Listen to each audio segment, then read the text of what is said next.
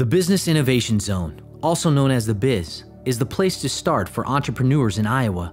The Biz helps entrepreneurs and startup companies focus on idea development, business models, strategy, market validation, mentoring, and networking. We also help clients connect with qualified community and state resources needed to grow their business. Throughout the year, we provide a number of networking opportunities with experienced entrepreneurs and business leaders by offering monthly luncheons and all day seminars on marketing and finance. You can learn more about the biz at bizci.org.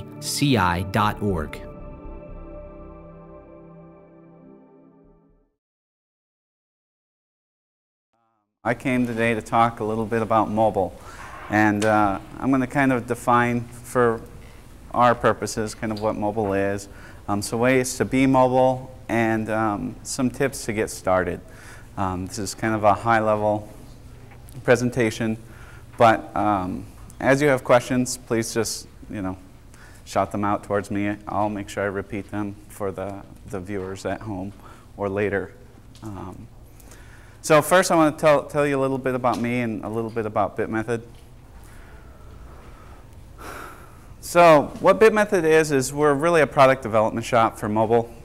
And we do it in two ways. We, we build products for ourselves and we build products for others. I'm going to show you some of the things that we built for both ourselves and others. Um, and recently we've undertaken a big project, a, a big product for ourselves, because um, that's where we ultimately want to be. We want to be a product um, company not necessarily in client services forever and ever. And this is me. Um, I'm the CEO of BitMethod.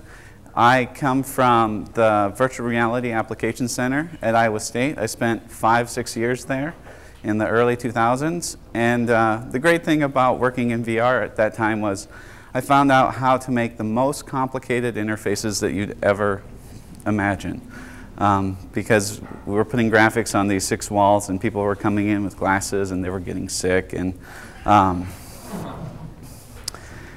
but we were, we were trying to make something useful. And uh, so that experience kind of showed me like the, the end of the spectrum I didn't want to be on. Um, and so, you know, I kind of, ever since then, I've had an interest in making things simple, making things clear, making um, software that's really focused on the user. I actually get to work next to probably the smartest people I know. Um, this is my partner Igor. Um, he runs our, like he basically makes the wheels go round at our company. Um, he's awesome. Um, Neil is our software engineer. The guy can code anybody that I know under the table. And finally, um, we've got a designer. Her name is Amanda Morrow. Morrow and uh, she is now kind of blossoming and becoming kind of the, I don't know, design queen of Des Moines, which is kind of awesome. Um, some of the things that we've worked on. One of the first apps we did was this little app called Lightweight. And uh, it's deceptively simple, right? Like you enter your weight and then it tells you, good job, like you can relax, or like, come on, get with the program, you're gaining some weight. But then in the background, there's all this complicated math that's kind of um, figuring out whether you're actually gaining weight or you can relax or um, you're doing good and you can just kind of keep what you're doing um, going forward. Because one of the things that we found was as soon as you got into these weight apps, it was all about showing you these charts and you could kind of, I don't know, view it almost as, as like weight porn, right? Like it just, oh, look, I, am down a half a pound a day, or I'm up a quarter of a pound today. Like, oh my gosh, what am I supposed to do? And uh, really, if you think about it from day to day, it doesn't matter. It's, am I down a couple pounds over the last two weeks, or am I not? Uh, the, one of the next apps we did was called Eat Sleep. Um, I had a kid, and my wife went to the App Store. She started downloading all of these uh, baby tracking apps, and uh, they were all coded by nerds, and we could tell it. And we could tell it because um, it's 2 o'clock in the morning. She's trying to feed um, our son Charlie, and they're having her start timers and stop timers. And if she forgets, then like it tells, tells her that she was feeding Charlie for like eight hours over, overnight, which is not the case. And so what we did was went back and looked, all right, how can we make this simpler? In, in a like, if we were to do statistical analysis, what actually matters? Um, Does it matter that she fed Charlie for 11 minutes or that he had 4.2356 ounces? No, like four ounces is good because if you take those charts to a doctor, they just want to know kind of when that trend might have started, like this downward um, spiral of your child's health. And so um, this has been kind of one of our most, it's kind of like our silent success. Um, I think in the last quarter we shipped, I don't know, like 13 to 15,000 of these apps. It's free. Um, we did it just because we were getting into app development and wanted to try it out. So it's also uh, like our highest rated. I think it's like at a 4.5 um, out of 5 star rating, even two years in, which is kind of insane. And moms write the nicest emails to me all the time. Like they will, they will go on for paragraphs how they love the app, and then they'll say like, but there's this little thing, and it's usually like a bug that's really our fault, and they could have just yelled at me and it would have fixed it. Um, but whatever. This, this was a breaking news we, app that we had done. Um, there's these guys that ran a Twitter account um, called App Breaking News, and uh, they had about a half million followers on Twitter. This was two and a half years ago, um, which was a lot back then. They were in the top, I don't know, 50 Twitter accounts. Um, online. And so what we did was we were kind of the first app to really go and take the, this concept of like pushing messages out to a phone like you do you get every day now with like Foursquare. You know, Mark just checked in into the biz or, or Matthew's now at Startup City Des Moines. We were pushing out, you know, Yasser Arafat just stepped down. Um, Walter Cronkite just died all these super breaking news and uh, they're super fast breaking news and then following the cycle from that. So um, does anybody remember the, that boy or the boy in the, the balloon, balloon boy? It, the Balloon Boy sto like, story came out maybe two weeks after we launched the app, and it was really amazing because um, we thought this was pretty cool, and all the tech blogs in Silicon Valley thought this was pretty cool.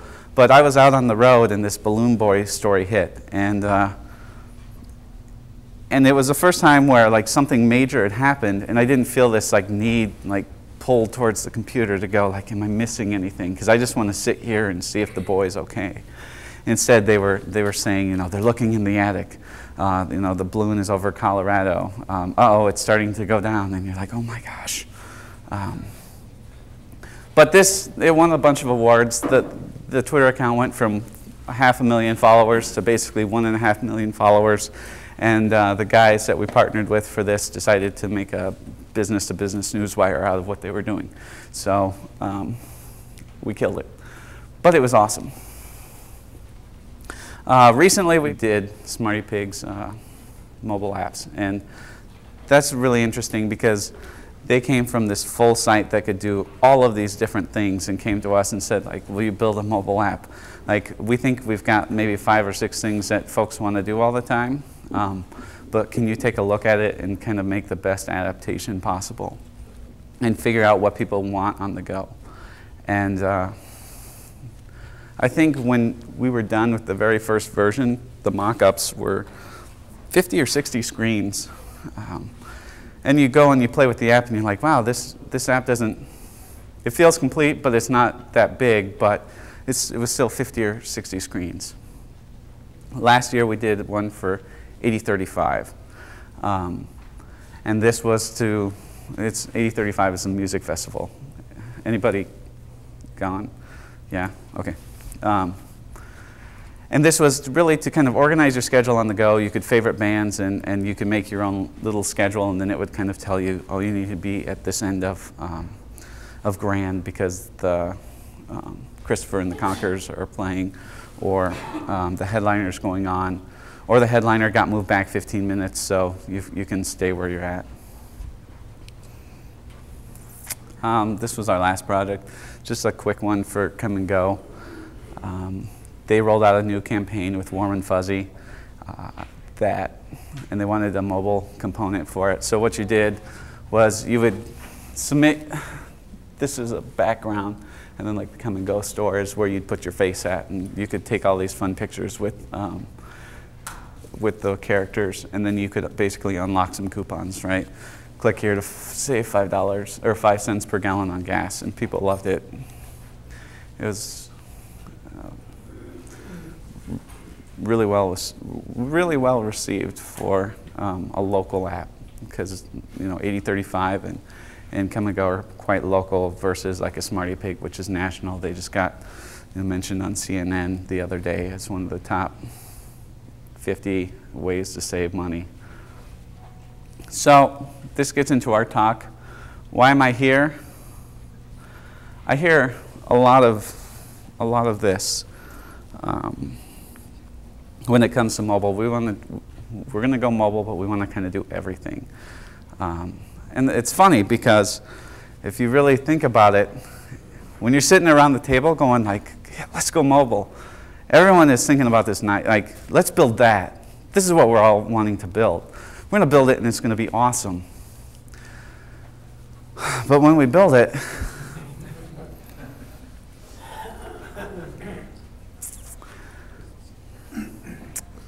Tom's magnifying glass got in, and, and Jim's uh, tweezers got in, and uh, and Christian, he just he just he wanted everything, and since he was the boss, we did it right.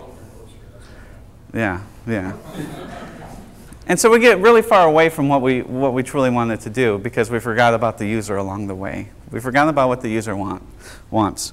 Can I go back? This is what the user wanted. They wanted the best knife ever, right?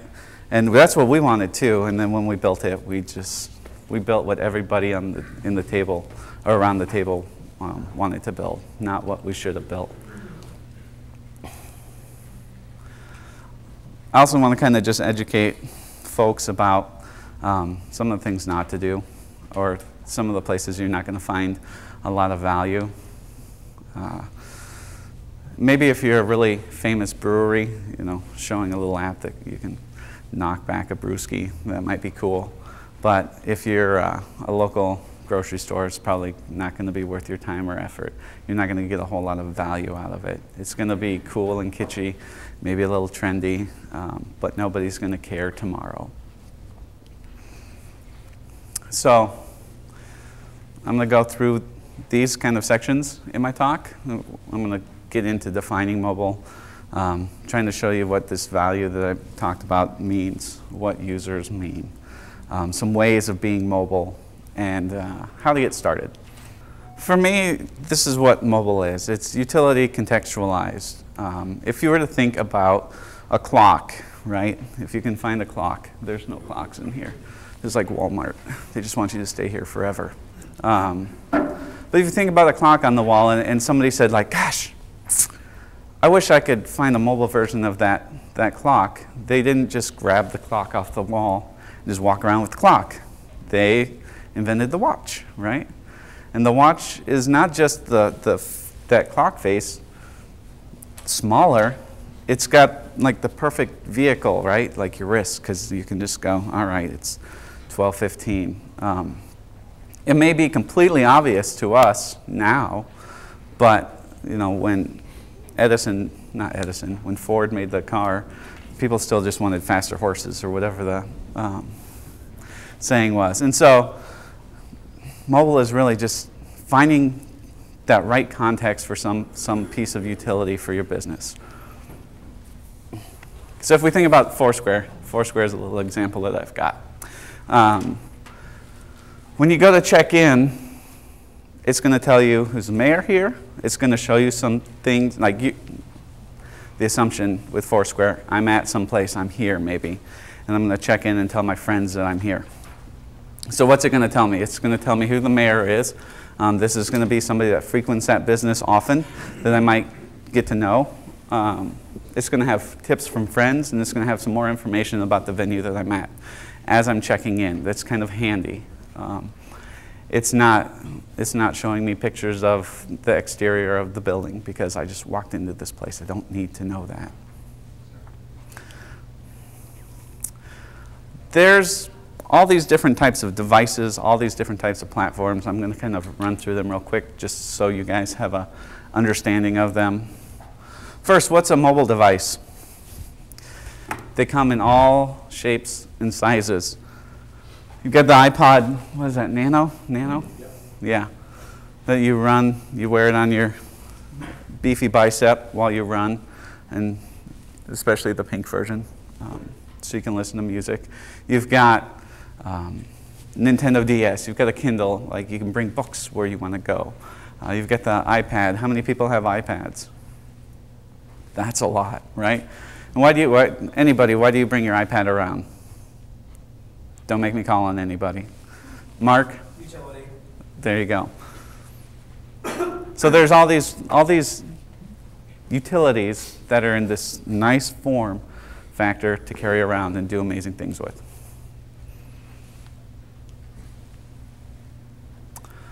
What can these devices do? Right? They can deliver books to us, but they also have GPS on them. They can tell us where we're at.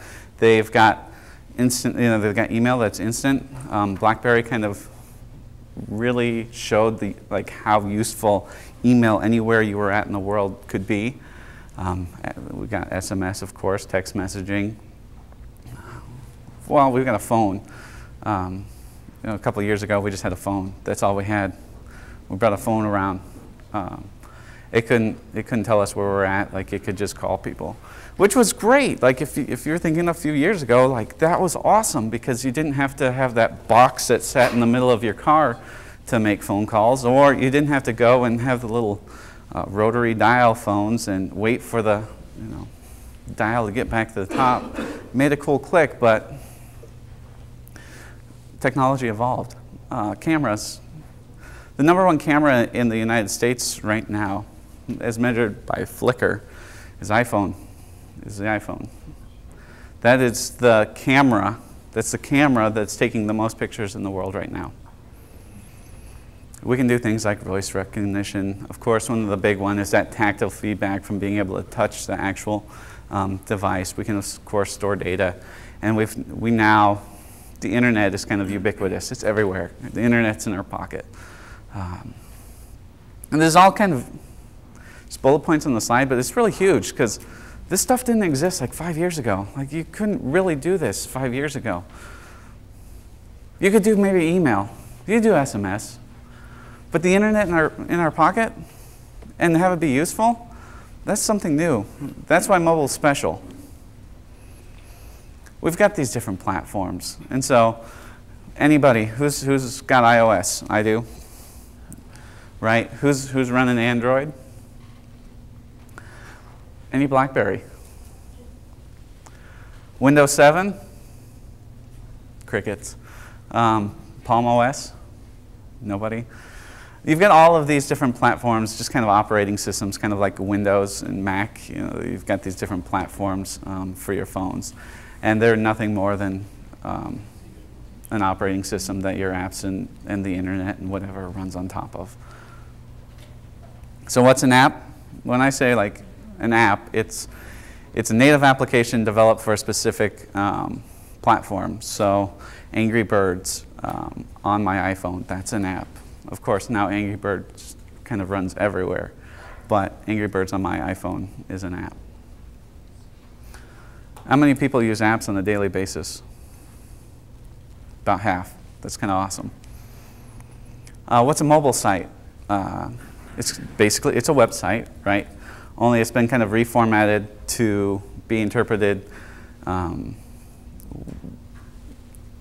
by mobile browsers in, a, in the same way that they interpret websites, but with different information, maybe. Maybe um, highlighting different and uh, use, more useful information. How's, how's mobile different? Well, we got the smaller screen, got the touch controls. These things can do more, more than one thing at a time. We can be getting email while we're checking the web. We can be getting email while we're making a phone call. We can be texting and, and making phone calls at the same time. Um, but the big one is that shift in connectivity. We're not actually, we're not tied to the wall. And we're not tied to a vehicle. Like that was the first evolution, like being able to like being mobile was like my car is now internet enabled or I can make a phone call from my car. And that was pretty mobile. But now it's, uh, it's that, that shift in connectivity has gone all the way to it's in my pocket, it's always there when I need it. And that's the, that's the kind of key defining factor in mobile. Like I said, it's always on, it's always on us. If we need some quick, like quick access to information, we can just pull out our iPhone and check it. Um, like I settle arguments with my wife. Um, and I remember, I remember 10, five, six years ago, you know, me and my wife on a road trip, and we get into argument about some fact. I would call somebody, hey, will you look this up? Like, how many people called and said, like, hey, will you look this up for me? Like, this address, whatever it is, I need it, can you look it up for me?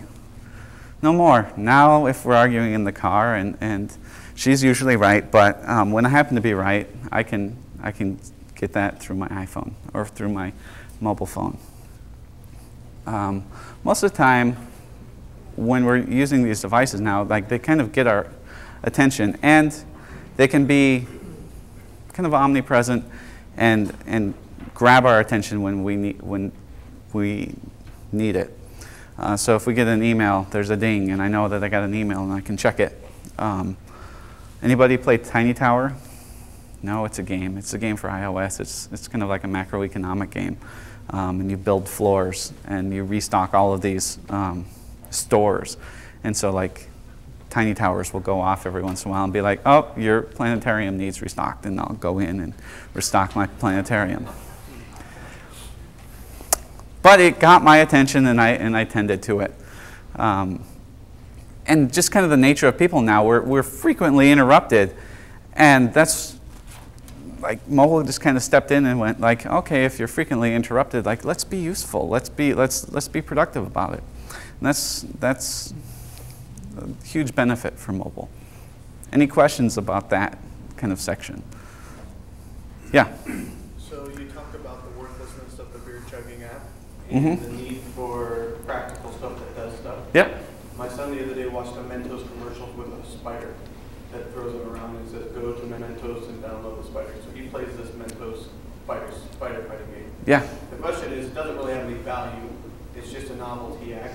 So is there a point at which you become big enough that you use apps just for branding purposes? Right. If you get so the question is if like is there a tipping point where um, kind of pointless apps all like can become not pointless? And the answer is yes. It's you know the internet is a is a thing of scale, and so if if your brand like Mentos is everywhere, and you need ways of connecting with consumers, and you're Mentos, right? You're, you're still Mentos. Having an app that locates where you can go buy Mentos isn't very useful. It's not a good way to get in front of customers. But having something that's quirky and fun and um, that you might play a few times and just kind of enforce brand awareness, yeah, then, then it could be worth it. Because some of these big brands will spend, you know, what's a Super Bowl commercial? 2.5 million?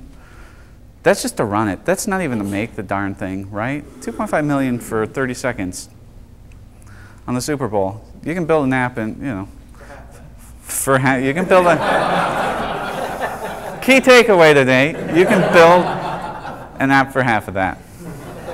Yeah. Hey Dan, you mentioned that you showed the, the different platforms, and I'm curious about your, your presentation, relative market share, and then are are people beginning to see Android people have a certain demographic versus you know, iPhone? Those are, you know, I almost went through and like added all these awesome stats, but I was like, they're going to be obsolete tomorrow. So I didn't. Um,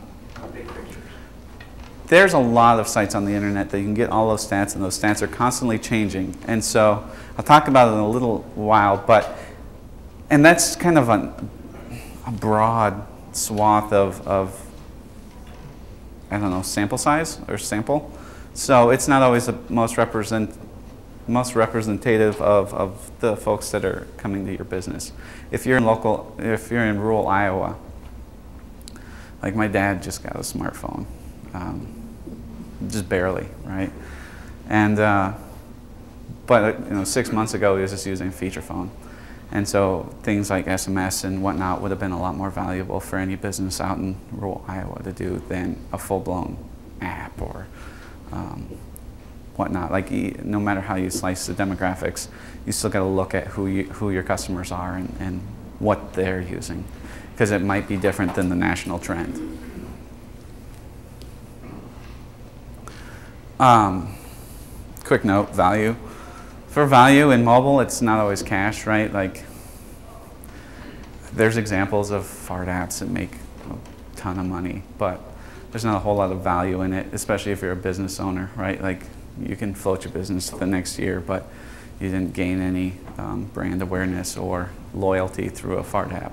So just kind of a side note, you know, value does not equal straight up cash in this equation. And this is a long process, right? Mobile just got here, it's not going away. So I want to talk about where you'll find value, where you won't find value, ways to build that, right? And the premise is kind of like you have to do mobile. And uh, that might be wrong, right? Because I would probably venture to guess that 99% of you are already doing mobile in some way. You just might not realize it. And like I said, this has been a long time coming. The Newton, right? The Newton started in 1987, and that's 25 years ago. 25 years ago. And they kept it around for a decade. They spent almost $100 million on trying to make this Newton. And then they finally killed it in 1998. Um, and it didn't work. It was terrible. Like, it didn't work. And, and I think, you know, things like GPS and, and, and the internet everywhere are kind of the reasons. I mean, PDAs were huge for a long time too, but nobody really everyone wanted a PDA, but how many people like sat down and did like hardcore stuff with their PDA? Nobody. It was kind of like a trendy thing. It wasn't actually useful. But now with the internet, now with um, all of these new capabilities on these mobile phones, now you can do really interesting things with them that you couldn't before. Um, well, you'll find value, right? If I gave you a choice, hey, Christian, I know you're going on a road trip and you're going to California. I've got this stack of maps. I've got this atlas for you. Um, or here's a, here's a GPS enabled smartphone, mobile phone. What are you going to take?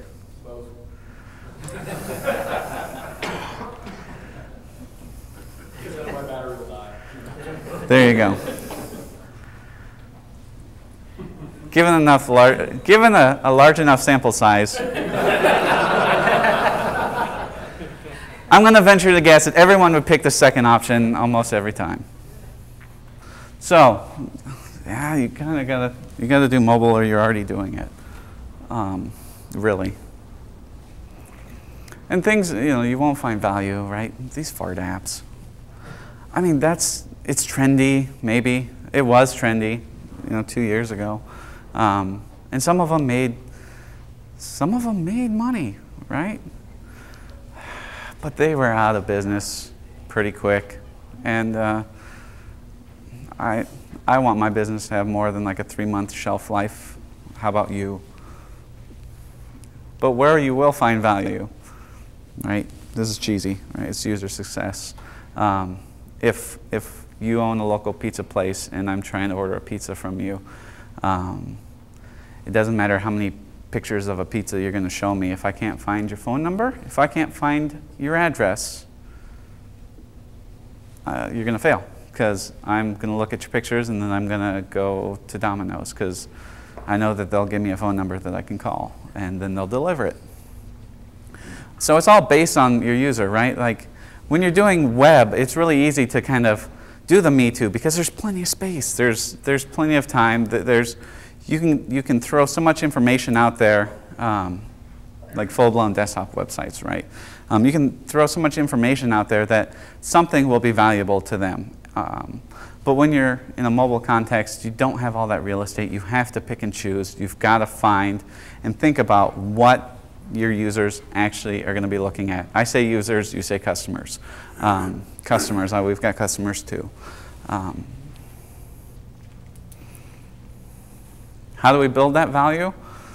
Right? We focus on utility. We give them that phone number when they want that phone number. We give them an email address. We give, a, give them the hours that, the, that we're open. So if we're if they're bordering on an edge case, it's nine o'clock, and they they're like, I don't remember if they're still open. We can look it up and see if they actually are.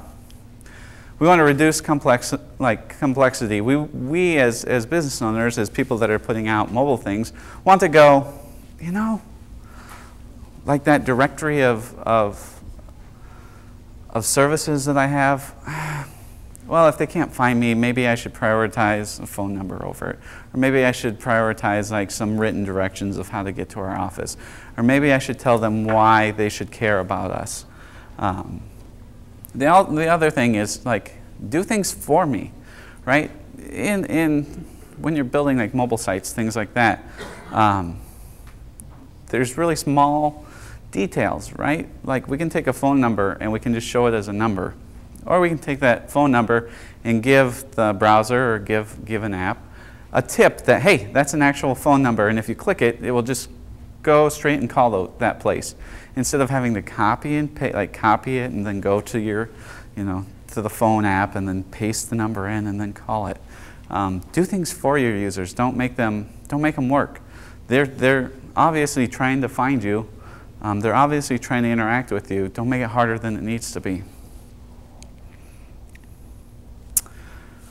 like I just said, increase accessibility. So it's, it's, it's making sure that all of these small things that you want the, users to do are actually um, done in the easiest way possible for them, not the easiest way possible for you. And there's a lot of times in, in doing mobile that um, there's actually extra work on you to make that happen.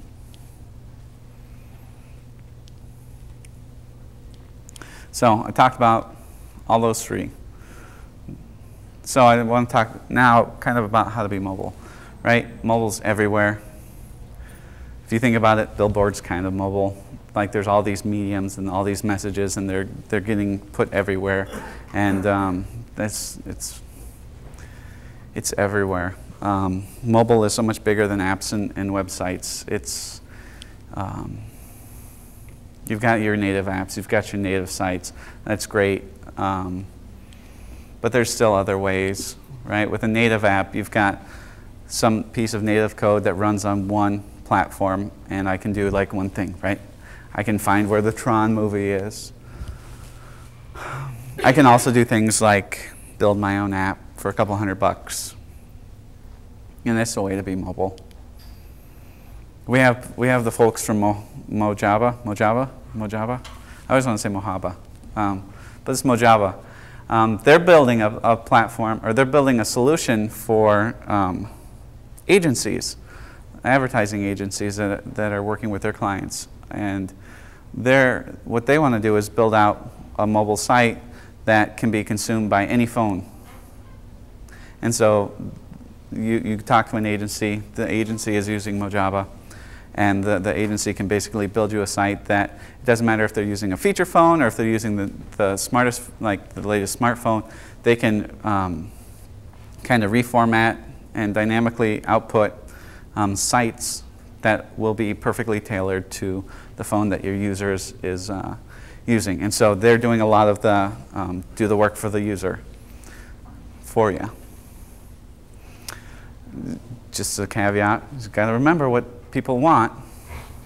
I don't want to have to drive to your store to see what your hours are. And in the sense, this is, this is kind of mobile, but it's kind of hard to use because I can't do it from my house. This is where I think most people fall into they're already doing mobile, which is you've got social networking sites set up, you've got a Facebook page, and you've got your hours on there. And so make sure you keep them up to date. Um, but I think for the most part, when I go, if like a cursory Google search doesn't show me the information I want, I go to Facebook and I'll look up Smokey Row or Mars Cafe if they don't have, you know, if they don't have their hours easily um, accessible through Google. Like this is a spot I always try, and this is where I think most people end up actually being mobile.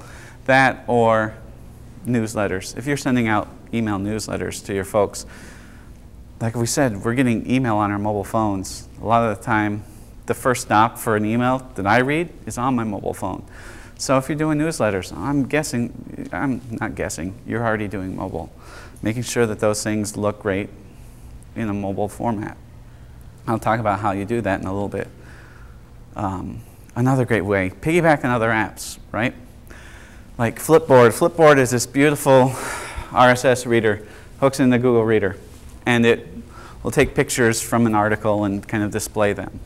And so your blog, your website, whatnot, can be viewed next to a bunch of other people's websites with your beautiful photography, with your beautiful content, with your brilliant words. And uh, they, they, they, being Flipboard, trying to make it beautiful. Um, and there's so many other piggyback apps. You know, social networks could be called a piggyback app where your information lives inside of another app. But just another way of being mobile without spending a dollar. Google Maps.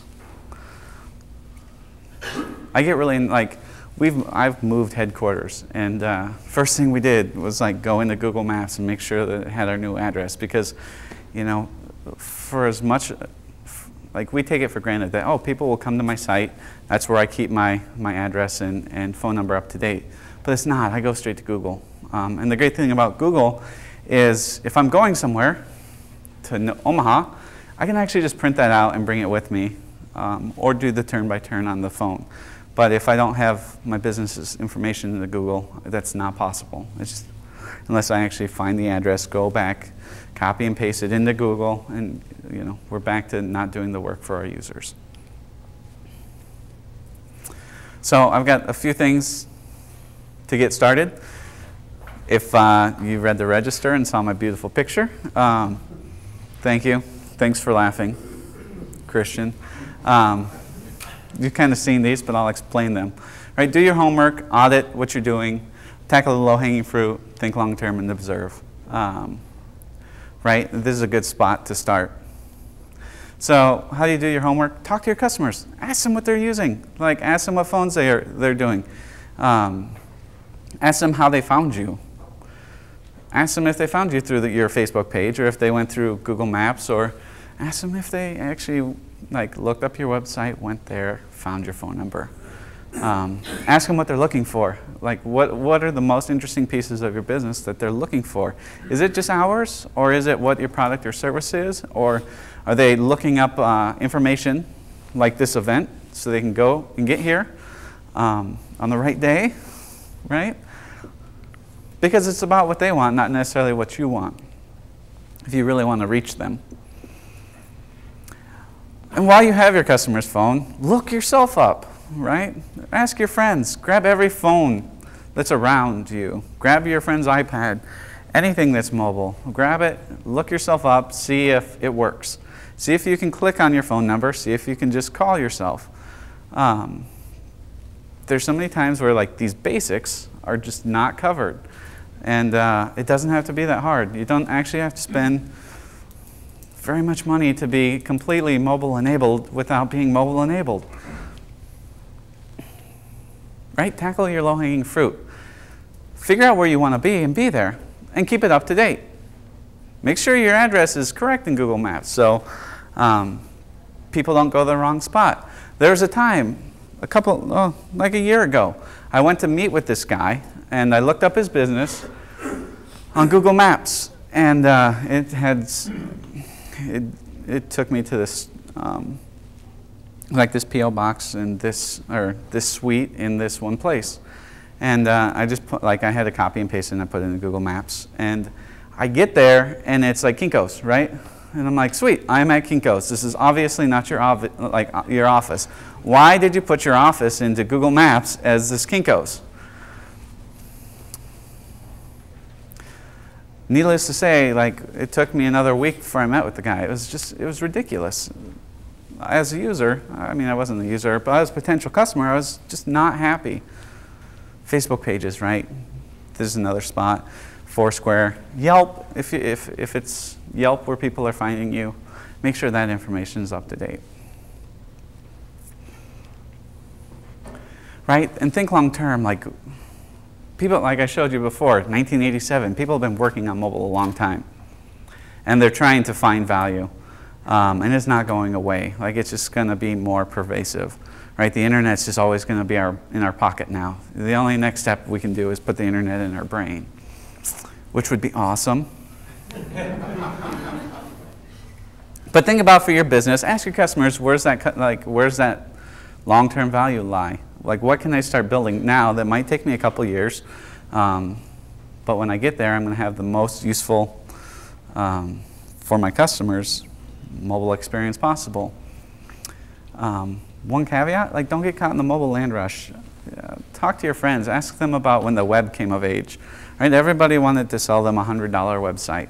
And then they bought into it. And then 10 years later, they have the $100 website that they all hate, their customers hate, and they've just, there's like this inertial fortitude that they can't overcome. Like they're just like, but we already did it, uh, we didn't do it well, I just, I kind of give up on the web.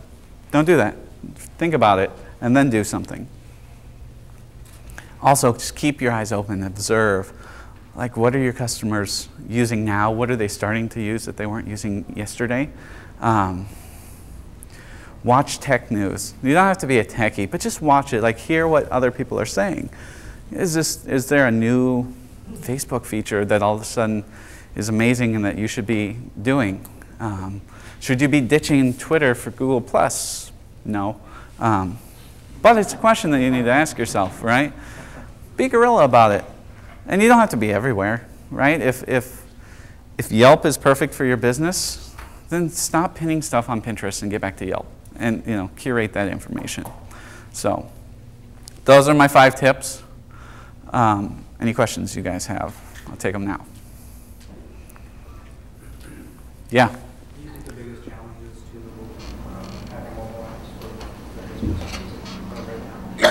for having Is it still for having mobile apps. Um, biggest hurdle is that right now is cost, right? To do something well, it costs a, it costs a good chunk of change, and uh, until you find that distribution, until you find that scale, until you have a lot of customers, um, it's kind of going to be relegated to not Super Bowl ad status, but Super Bowl ad status, right? Like you've you've got to make sure that that is going to fit your need, and then you can, then then go for it. Dan, why do you think it is that there's such a difference between web development, which is the lion's share of use, and mobile app development? What do you think Uh, there's As far a- as the pricing development? Why do you think there's such a disparity between? Oh, okay. So the question is, why is there a price disparity between website development and mobile development? There, in, in certain ways, there's not, right? Um, both web development and app development is kind of like going and looking for a car, going to dealerships. Um, you can buy the Fiat, not Fiat. Fiat's all right. I don't know. It's foreign. You could buy the Yugo. There we go. That's better. You can buy a Yugo um, from the Yugo dealership, or you can go buy a Mercedes, or you could find something in between. And uh, that, that perception and quality that you have towards it is the same perception and quality that your customers are going to have towards it. And there's, there's places around town, right? Like there's the Killer Deli B&B, like best killer sandwiches ever, right? They could buy a Yugo. Their customers don't like. It goes with their aesthetic, right? Like, and it would be completely fine, and people would not balk at it. Um, but if you're, if all the other assets of your, or facades of your business look like a Mercedes, you need to go to a Mercedes dealer and get a site there, site or app built there, right? There's site makers that are $100,000 plus, right? The best in the industry, HappyCog, on their little like form where you start to fill out a project planner for them, the first line is like, is your project over $100,000? Because that's where we start. And it's not a reflection on anybody, except for that's, that's the dealership you walked into, and you need to know that.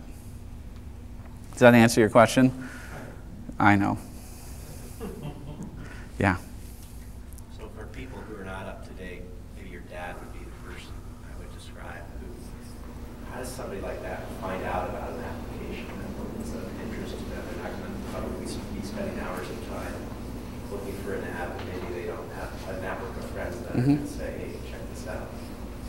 Ah. How do people like that find useful app? So the, the question is like, how do people like my dad find useful apps? And uh, Right now, it's by happenstance. So if I was trying to target or market towards my dad, I would not build an app. I would not build a mobile site. Like he does everything on. I would make sure that my Google Places was up to date for him. I make sure my Yahoo Places, whatever you know, uh, this public information that about my business is up to date because that's where he's looking. He's not savvy enough right now to to figure it out. Sometimes he is, but it's, it's completely happenstance. Yeah. What criteria do you use to know whether you should build an app or just adapt your site to mobile? I think it's so. The question is, how do you how do you know what criteria criteria it? What are the criteria to know whether you should build a mobile site or an app? Um, I would make sure that your mobile site or your site looks good on, on mobile in, in the first place. Um, and then you've got to talk to your customers. You've got to find like what's your reach, what's your audience, what's your demographic, what are those people using? Are they using apps? Because if they are, mm, maybe it could be. Maybe that uh, barrier to entry just went down a lot because you've got 5,000 rabid fans versus um, that, that want an app for you versus um, you know 10,000 people that are kind of ambivalent, right? 10,000 my dads versus 5,000 rabid fans. The numbers are, you know, the scales are like this, but I would totally might build an app over here. Yeah. Um, as a consumer of apps, you know, some go on my phone, they disappear immediately, some stay on a while, some stay on longer term. The one that's always surprised me, like you guys worked on, is app for a gas station. Could you talk a little bit more about the creative process of that? For- also for Kum & Go? Yeah, but what also you didn't do. Oh yeah. So uh, like for Kum & Go, um, the question is like, what was the thought process behind the Kum & Go app? Kind of, right? Yeah. Okay. So Kum & Go came out with this new campaign, and uh, it was targeted at 25 to 34 year olds, um, like younger demographic, and they featured these cute characters, warm and fuzzy, and. Uh, and they were they were putting ads on like Adult Swim, right? They're running ads on I don't know um, Pandora. Um, they were trying to find these people where they were at, and one of the places that these young folks are at are in the App Store, and so uh, they came to us and said, "Hey, will you build an app in the App Store? We've only got, in their case, it was like a couple weeks. We've only got a couple weeks. Let's do this." And so we said, "Sure, great." We took basically complete, you know, creative control, and just like went down our rabbit tubes and said, "All right, we've got two and a half weeks to build an iPhone and Android version. What are we going to do?" Um, how can we extract the most value? How can we find something that is fun? How can we make something that like can spread, right? Because we, we know that they're not going to have 5 million customers come and download this app. So how can we take the ones that do and kind of get that out there um, on its own? And so we built this, the photo sharing feature, right? You, you take um, these photo frames with the cute characters and you can kind of pose yourself differently. And there's these coupons that every two weeks there's a different coupon. And to unlock it, you've got to take a photo and share it. And you also, um, you can take a photo and share it, or you can enter your email address to subscribe to their newsletter, right? We want to capture you, or we want you to share it with your friends.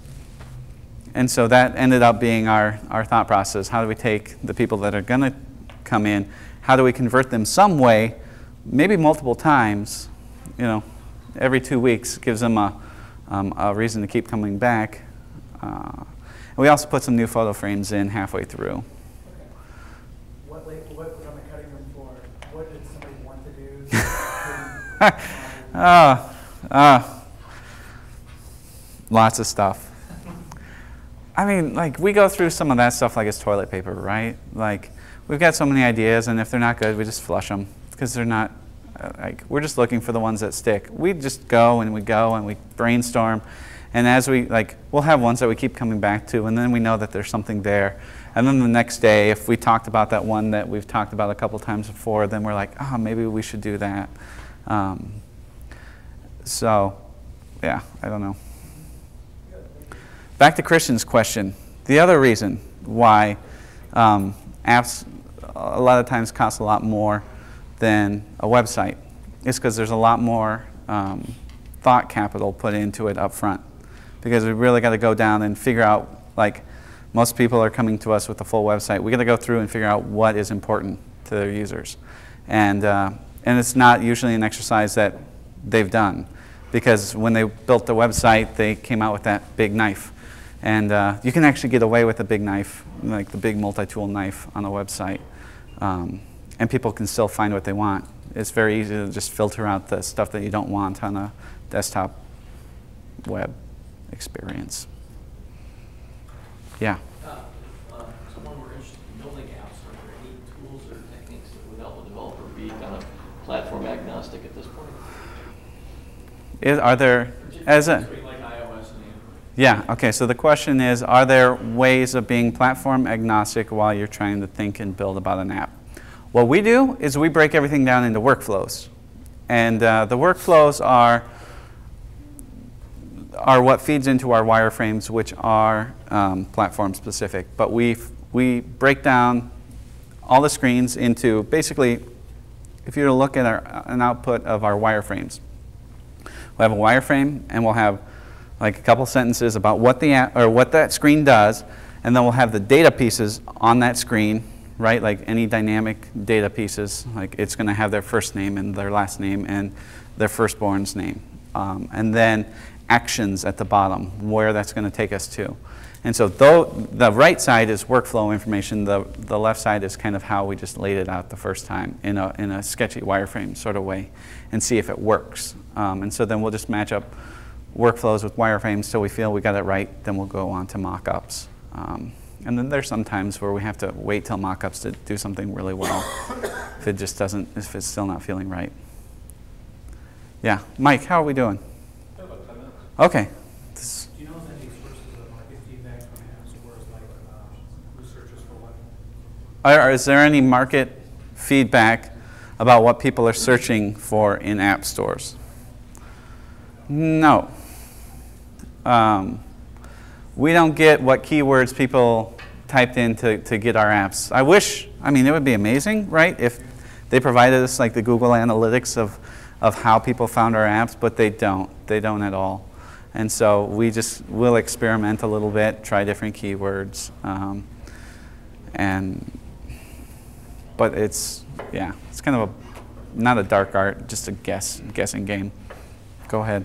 Do you find yourself applying more game logic and game theory when you're doing your app development? I know in my company, more and more clients want to engage, like you said, kind of the, either you get points, you get coupons, some sort of a reward system, while still keeping them engaged and uh, wanting to come back and use your app over and over and over. Yeah. Okay. So the question is, um, do we employ any game theory, game mechanics, whatnot when we're building apps? Absolutely. Um, the great thing about mobile is most of the time it's very personal, right? You never go up to somebody and go, "Hey, can I borrow your phone to make a phone call?"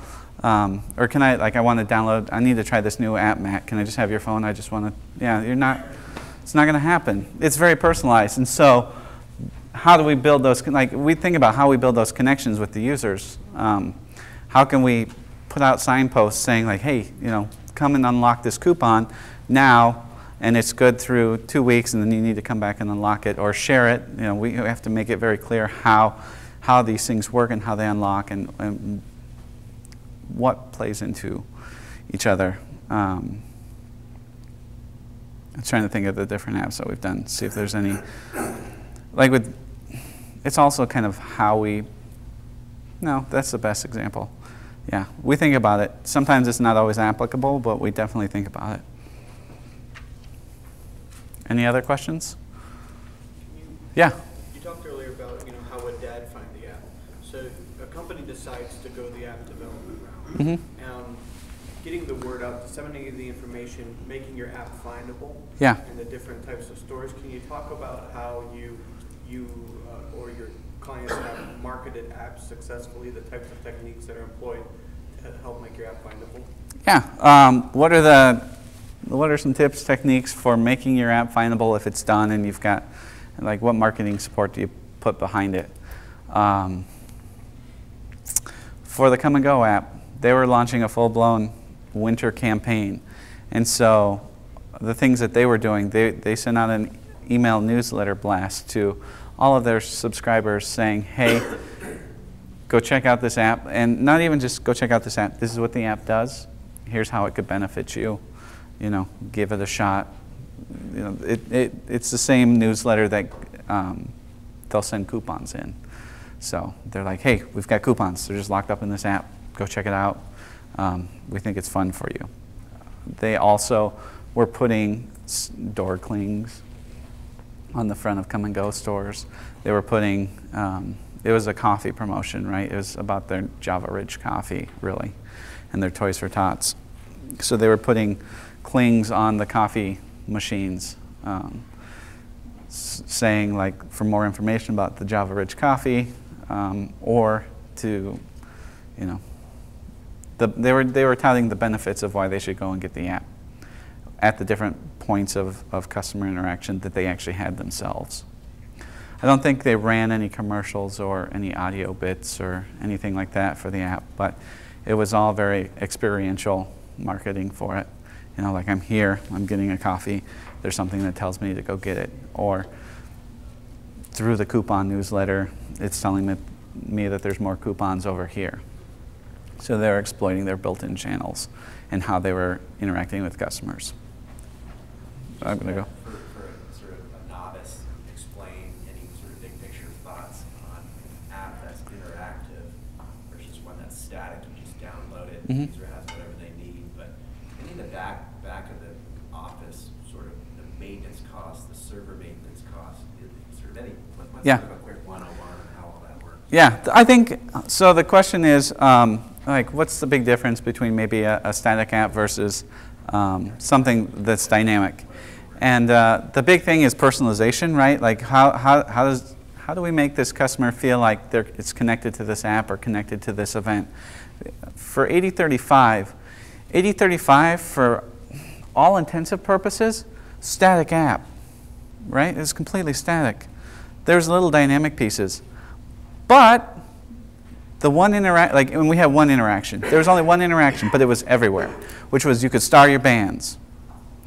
And so we had all of these static pages, you know, with the band information, where they're playing, whatnot.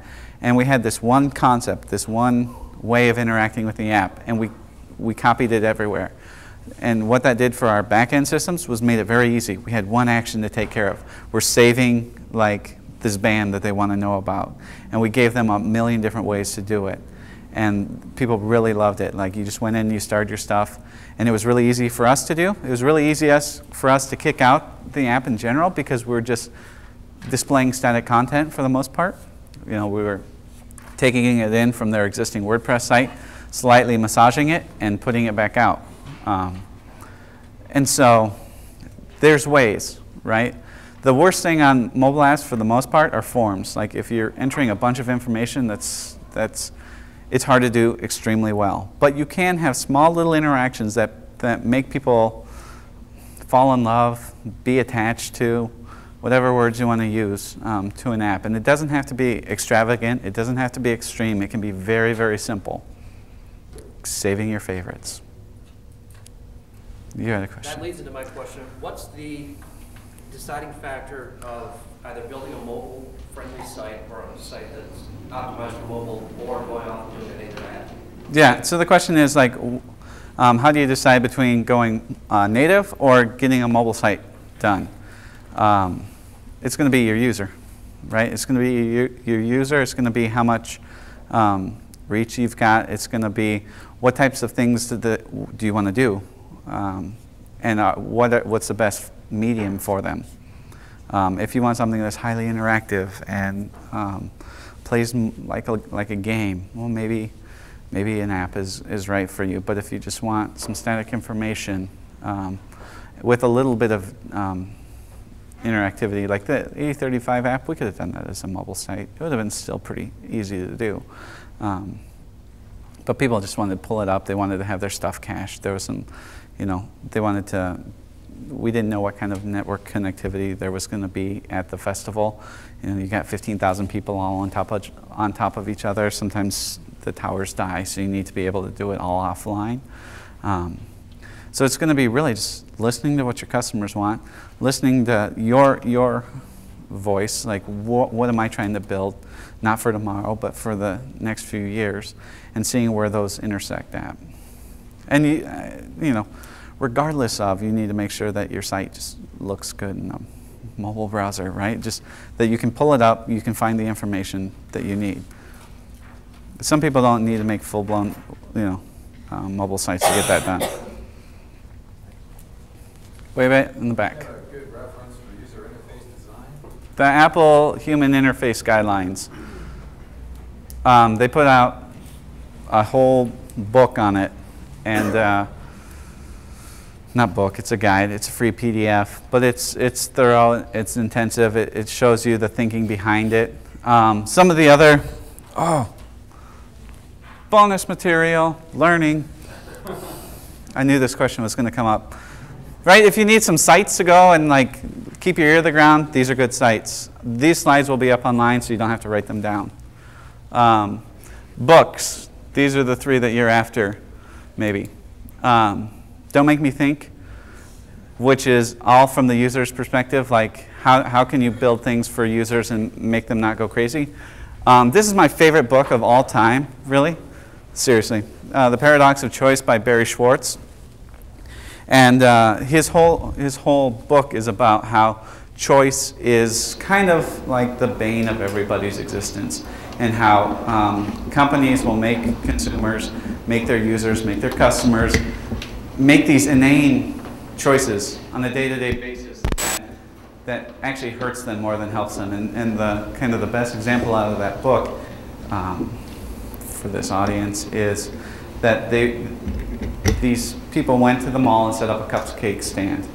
And, um, and there's like 35 different varieties of cupcakes that they were trying to sell consumers.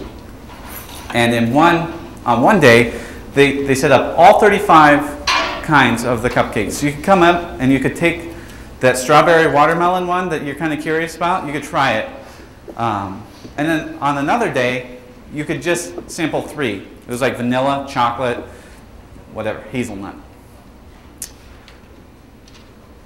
The one that you could sample anything that you wanted sold poorly, terrible, nobody bought.